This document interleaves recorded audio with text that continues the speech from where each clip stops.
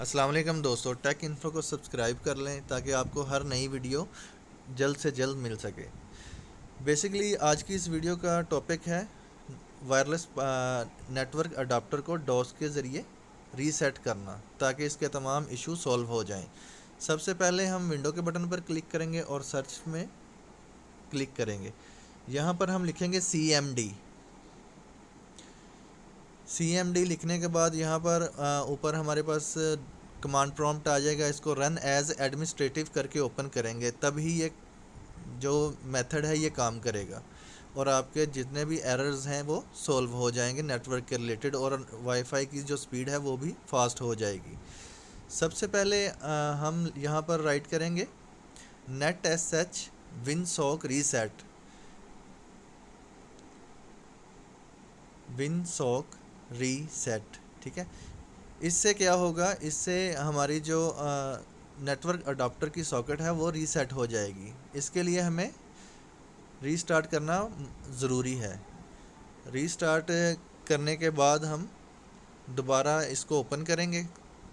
सी M D को और run as administrative में हम लिखेंगे net S H A D V firewall reset और इंटर प्रेस कर देंगे। इससे फायरवॉल जो है वो भी रीसेट हो जाएगा और आपके तमाम जो नेट से रिलेटेड इशू हैं वो सॉल्व हो जाएँगे। अगर आपके पास नो इंटरनेट आ रहा है नो इंटरनेट एक्सेस आ रहा है तो ये सभी प्रॉब्लम्स जो हैं वो सही हो जाएँगे। नंबर थर्ड पे हम लिखेंगे net S H branch cache reset इससे ब्रांच कैशे जो इसकी होती है नेटवर्क अडाप्टर की वो भी रीसेट हो जाएगी।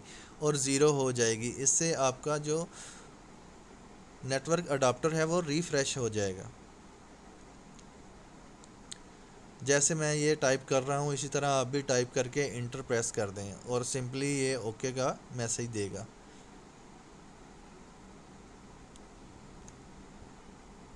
ठीक है? और ये देखें, उसने सभी रीसेट कर दी है ब्रांचेस।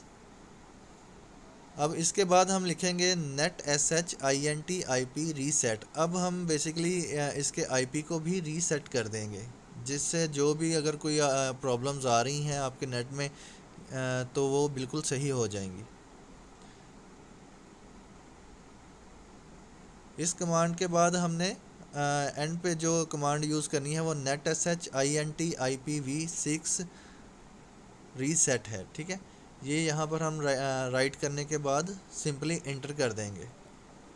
और ये आई पी वी सिक्स को भी रीसेट कर देगा। बेसिकली आई पी को भी रीसेट कर देगा और जो भी प्रॉब्लम्स है वो सोल्व हो जाएँगी। जैसे ही ये सारा प्रोसेस जो है वो कंप्लीट होगा तो एंड में आपने क्या करना है? एग्ज़िट कर देना है, ठीक है? यहाँ पर हम एग्ज़िट लिख देंगे। एग्ज़िट का मतलब है यहाँ पर हम इसको सी एम डी को क्लोज़ कर रहे हैं, ठीक है? क्लोज़ करने के बाद सिंपली यहाँ पर एग्ज़िट करेंगे। एग्ज़िट जब हो जाएगा तो हमने क्या करना है? मस्ट रीस्टार्ट करना है। पीसी है, लैपटॉप है या कोई भी आपकी डिवाइस है जिसमें विंडो रन हो रही है, आपने उसको रीस्टार्ट कर देना है सिंपली जाके।